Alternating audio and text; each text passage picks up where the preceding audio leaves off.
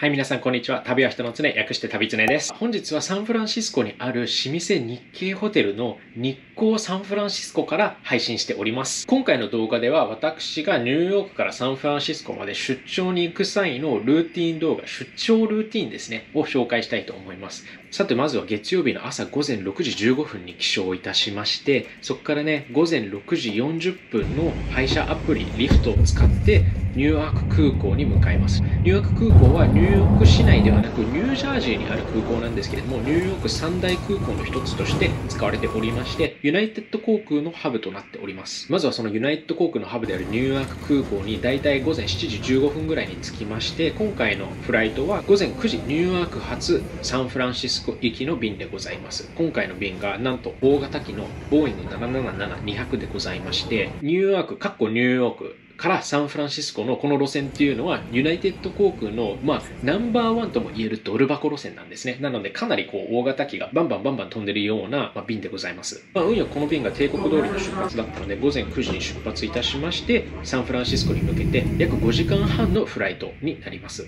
フライトの中の様子はこんな感じです。運よく隣に誰も座ってなかったので、割と快適に過ごすことができたんですけれども、やっぱり5時間半、6時間近くのフライトって結構長いですね。日本から、まあ、東京、バンコクくらいの感覚なので、あの考えてみてください。アメリカ国内だけで、まあ、東京、バンコクぐらいのこうフライトがあるんですよ。結構長いなって思いませんか？やっぱりな慣れないですね。あのエコノミーだと辛いですね。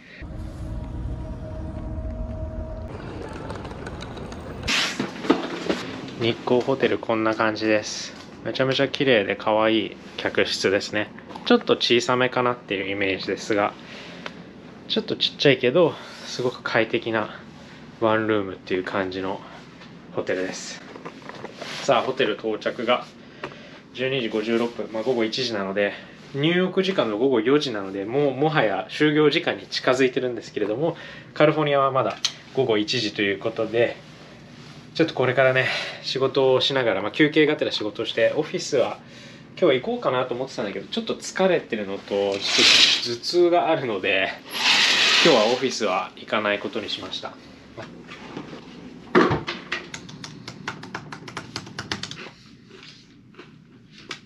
はい、仕事も一段落したところで、ちょっとね、今午後4時過ぎなんですけれども、まあ、ニューヨーク時間だともう午後7時なので、正確には私も就業時間終了してて、これからちょっとお散歩に出かけたいと思います。まだ日が結構明るくて、今日の日の入り7時半とからしいので、それまでね、日中の綺麗な一日を楽しみたいと思いますので、散歩に出かけます。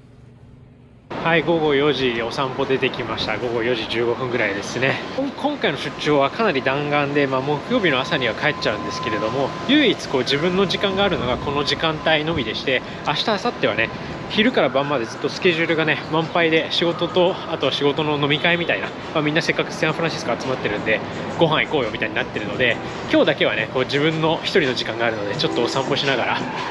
街歩きだったりサンフランシスコのね状況を見たいと思います。ちなみに日光ホテルがあるこの場所がこうテンダーロインっていうねサンフランシスコの中でもかなり悪名高き治安の悪いエリアでしてちょっとここはね早めにこう抜け出して、まあ綺麗なところに向かいたいと思います。ちょうどね日光ホテルがテンダーロインっていう、まあ、エリアの、まあ、ボーダーラインっていうかそこに来てるんですね。なのでギリギリちょっと危ないみたいな。ちょっと。角を外れると危ないところにやってくるって感じなので注意が必要です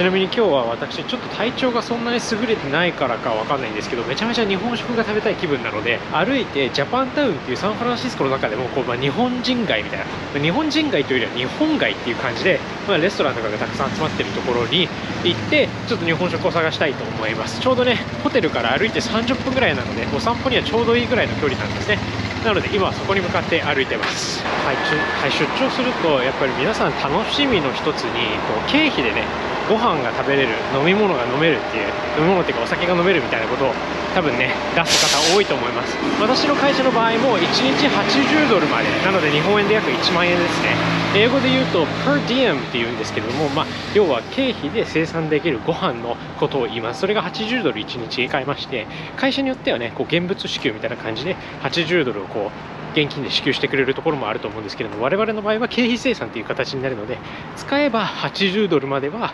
経費生産できますよっていうような スタイルになってるので今夜はね一人で豪華にちょっと日本食を食べたいと思います。おそらく3 4 0ドルぐらいねいっぱい頼めばすると思うんですけれどもまあ経費の中で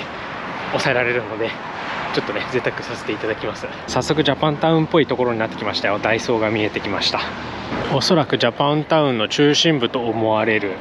広場にやってきました。ちょっとね五重塔みたいなこうなんかエセ五重塔みたいなのがありまして日本町日本町なんていうのか分かんないけどが見えてきました。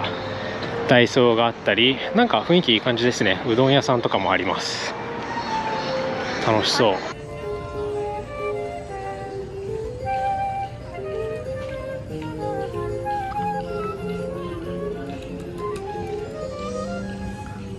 ショッピングセンターもあります。ジャパンセンターです。入ってみましょうか。お。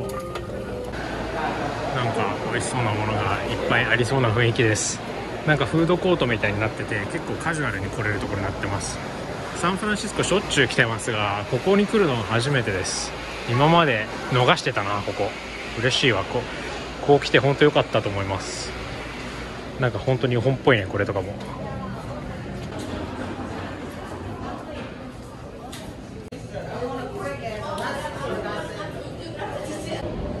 とにかく思ってたよりも全然大きいショッピングモールで本屋さんとか紀ノ国屋とかも入ってます。ここ全体が日本人街じゃない日本街になってるんですね。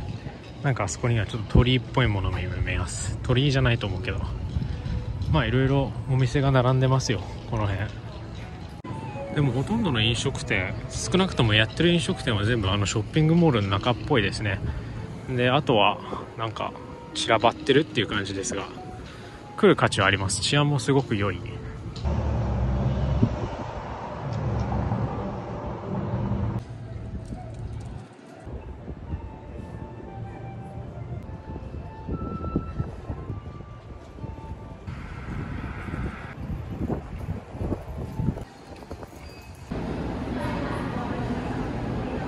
今日はこの麦蔵というところでうどんを食べたいと思います。お腹に優しいものをとにかく求めてやってきました。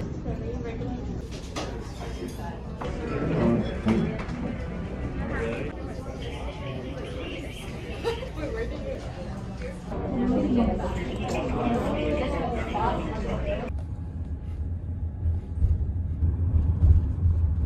はい、午後6時30分頃なんですけれども、ホテルに戻ってきました。ご飯も食べてね、6時半なんですけど、まだその、まだ外はこんな感じで明るいです。さて、えーニューヨーク時間だともう夜9時半なので、実は私、就寝時間が10時、10時半とかなのが普通なので、結構ね、夜9時半になるともう眠くなってきたんですよ。まだこっちは6時半で外も明るいんですけれども、若干ね、時差ボケがあります。ニューヨークとサンフランシスコ間はね、時差が3時間あるので、ちょっとこっち来るとね、夜遅くまでね、起きてられないっていうことがよくあるので、今日はちょっと早早めに寝て、明日の仕事のために体調を整えたいなというふに思っております。で、明日以降はね、ルーティーンって言っても朝から夜までずっと会社にいるので、あんまりお見せすることはできないと思うんですけれども、2日間仕事をして、そして木曜日にニューヨークに帰る予定です。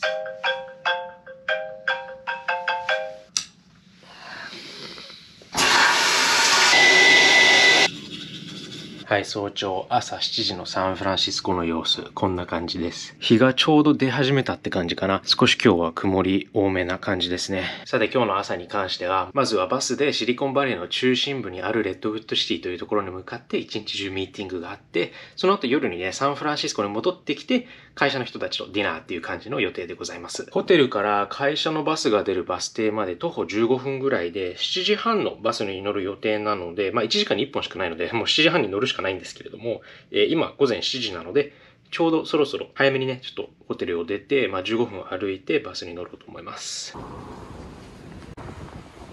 はい、出発進行ですが、珍しく雨。まあ、カカリフォルニアは珍しいけど、サンフランシスコはそんなに珍しくないかもね、雨。結構雨降るらしいんだけど、すごい今日はちょっと残念な雨なので、傘を差してバス停まで向かいます。すでに午前7時15分ですが、まだこんなに暗いです。今日はちょっとひどい一日です。もう暗くて雨もあるし風もめちゃめちゃ強いんですけど傘もねこんな折りたたみ傘しか持ってないので使うのは諦めました。ぶっ飛ばされそう。サンフランシスコのこの辺相変わらず治安ヤバめです。ヤバめの治安のところ歩いてます。皆さんこれがアメリカの現実ですからね。とにかくこの辺はねやばい人がいっぱい歩いてるので話しかけられたら無視するのがベストです。とにかくこの辺はね皆さんご覧いただけますかね。かなりこうそこら中に落ちてるんですね。こういう状況なんですね今のサンフランシスコって、まあ、どこ行ってもこうやってねがね落ちてるんですよびっくりしちゃうわちなみにこからはいろんなねテック企業行きのバスが出てるみたいですね。あれは別のオフィスなので私は乗りませんがああいう感じでね2階建てのバスがたくさんブンブン走ってます。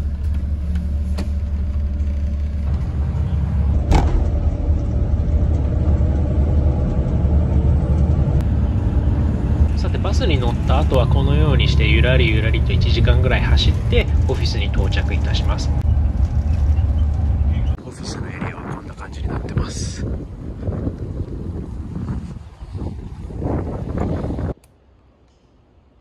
1日のミーティングであったり仕事が終わって、だいたい午後4時半ぐらいにチームと一緒に Uber に乗ってサンフランシスコ市内に戻りました。そそしてその後サンフランシスコ市内でチームディナー、まあ約5人の小さいチームなんですけれども、そこでまこじんまりとディナーをしまして、チームディナーはだいたい8時から8時15分ぐらいまで行って、その後ホテルに戻りました。時刻は8時半を回ったところ、あ、8時半を回ったところなんですけれども、今、ホテルに戻ってきました。7時ぐらいにね、ホテルを出て8時半に帰ってきたので、結構長い一日になりました。まあ、お仕事もしてね、もちろんソーシャルな、まあ、ディナーとかね、ソーシャルなイベントもあったりして、一日が終了します。この後はもう夜8時半なので、ちょっとね、身支度して、もう就寝しようかなというふうに思ってます。はい、夜のルーティンの一つに、必ず出張先でも顔はしっかりと洗うようにしてます。これはね、やっぱり肌の健康を保つためって言いますか。もうこの辺とかね、もう結構老けてきたなって自分でも思うので、必ずね、顔洗って、こう、クリーム、あ、どこ行ったクリーム？クリームどこ行った？クリームをあの塗ってます。まあ、ルーティン動画みたいなみんな、皆さん好きでしょ？うん。なんか好きかなと思って作ってます。まあ皆さんがどう思われてるかぜひコメントいただければと思います。コメントには必ず返信しておりまして、皆さんのコメントによってね、励まされることもあれば、結構お勉強させていただくこともあるので、ぜひコメントください。一応今回ね、フライト予約してあるのが午前7時、木曜日の午前7時発のフライトでニューヨークに帰る予定なんですけれども、もしかしたらちょっとそれを早めて、その日の夜の11時、午後11時の便で帰っちゃおうかなって思ってます。ちょっと深夜便であえて帰って、まあそしたら木曜日の朝にはニューヨーク着くんで、そっちの方がいいかなとは今思ってたり。でも直前で飛行機変えられるかはわからないので、まあそこはちょっとギリギリに決めたいと思います。ホテルにはこんな綺麗なプールまでついてますちょっと今回水着も持ってきてないし短期滞在なので入れませんか今度行った時は入ってみたいと思いますはい午前7時半ですがジムから今帰ってきまして、まずは会社のパソコンを開いてメールチェックと、あとユナイテッド航空のオンラインチェックインでチェックインしたいと思います。こんな感じで座席とかも一応選ぶことができるようになってますね。これがオンラインチェックインの様子です。どこにしようかなって。あんま選べるとこないけど。今はね、この通路側座ってるようです。今のところフライトは明日木曜日の朝7時発のフライトでニューヨークに帰る予定で、その到着が午後3時半なので、まあ5時間のフライトプラス3時間の時差で実質8時間日中失われちゃうんですね。なので7時発の便でニューヨークに着くのが午後3時半、まあ4時近くなので、ほとんど1日が失われてしまうと。まあ一応ね、出勤日っていうかまあ就労日なので、それをまあトラベルで使えるってある意味いいじゃんって思うかもしれないんですけれども、やっぱり一日失われるのちょっともったいないので、できれば夜の便に変えて深夜便で帰れるかちょっと見てみたいと思います。帰れるかわかんないんだけどね。もう一回変更してるからな。はい、一応チェックインを完了しまして、こちらにフライトのディテールがあるんですけれども、午前7時発の SFO から EWR、ニューアーク空港ですね。エコノミークラスのボーイング777-200なんですけれども、この下にね、need to make changes whether you want to have a little earlier or a little later flight みたいな感じで書いてあるんですけれども、ここでね、あの、フライト直前の変更っていうのをね、することができるみたいなので、ちょっとこれで、えー、ちょっと名前を映さないように、ちょっと変な角度で撮ってるんですけれども、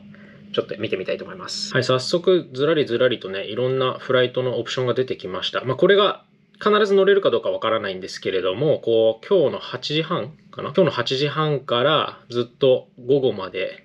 の便が出てます。この私が狙ってるのは、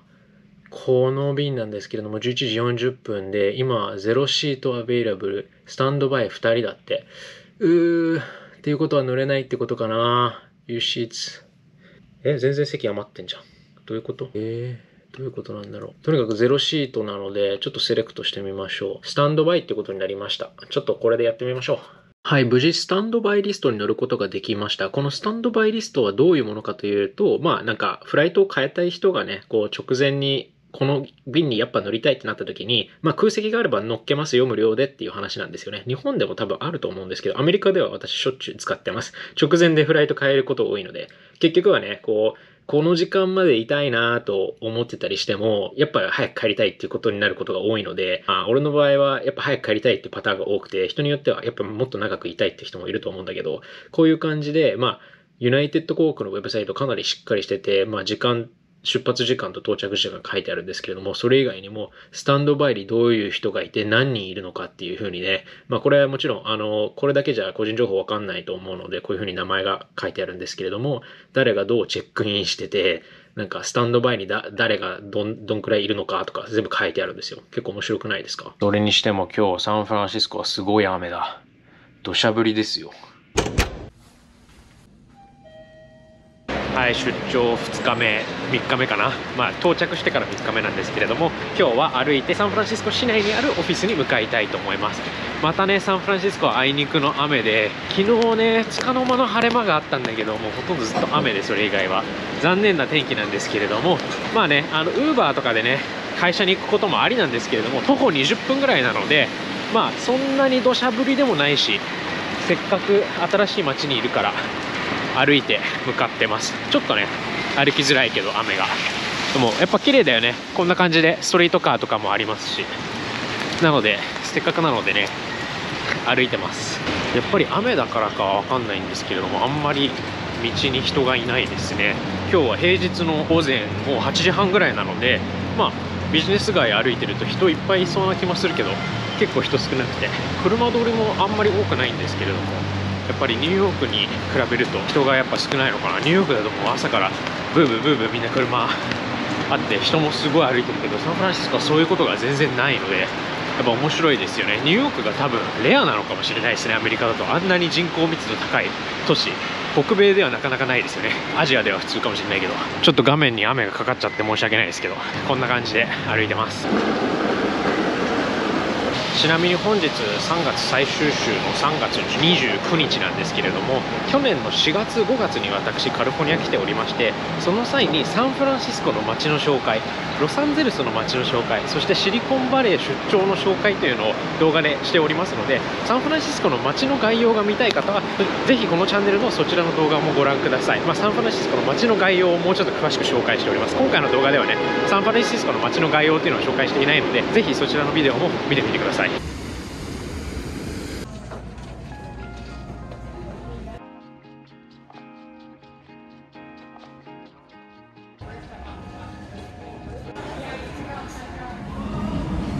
はい、現在ホテルに戻ってきて午後10時を回ったところなんですけれども、未だにね、ユナイテッド航空の今夜の便、11時40分発の便のスタンドバイのリストに今載ってますので、えー、ちょっとこれからどうなるかわからないんですけれども、一旦空港に行ってみて、この便に乗れるかどうか見てみたいと思います。乗れなかったらね、あいにくこっちに戻ってこなきゃいけないんだけれども、まあ乗れたらね、早く、早めに帰れるので、ちょっとリスクを取って空港に行きたいんですけれども、出発まであと1時間40分しか残ってないので、急いで身支度して出たいと思います。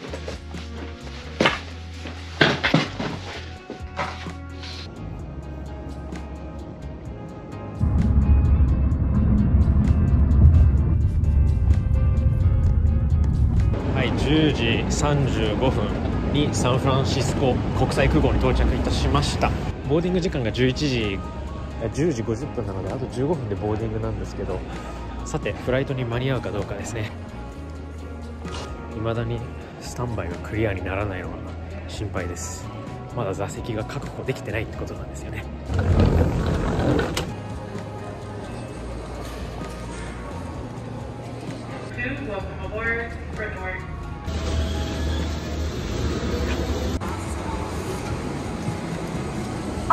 display will be selling track travel. However, passengers taking tickets are now using customers will be shown as well. Passengers and passengers taking tickets now using customers.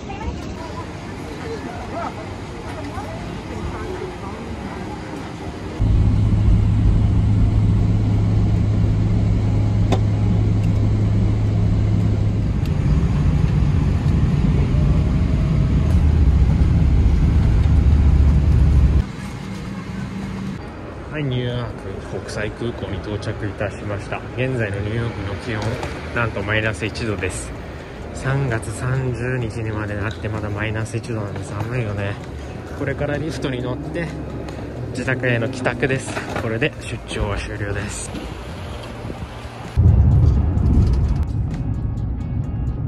はい、さて戻ってきました。この日光ホテル、皆さんいかがでしたでしょうか？結構弾丸な今回の出張の旅と、この出張のルーティーンです。皆さんに楽しんでいただければなというふうに思いました。ちなみにね、去年もね、サンフランシスコおよびシリコンバレーに出張した際に、まあ、シリコンバレー出張の様子という動画を作っておりますので、まあ、出張の様子をもうちょっと見たい人はこちらの動画もぜひご覧ください。他にもこのチャンネルではアメリカに住んでる私がアメリカの生活の様子であったり、ニューヨークの、まあ、生活の様子ですね。あとはアメリカの旅の情報、飛行機の搭乗機などを載せております。この動画が面白いと思っていただけた方、チャンネルが面白そうだなと思っていただけた方、ぜひこれを機会にチャンネル登録のご検討と、LIKE ボタンのクリックよろしくお願いいたします。皆さんのコメントにも必ず返信しておりますので、コメントもぜひぜひください。それでは今回の出張ルーティンの動画はこれで終了したいと思います。皆さん次の動画まで。バイバイ。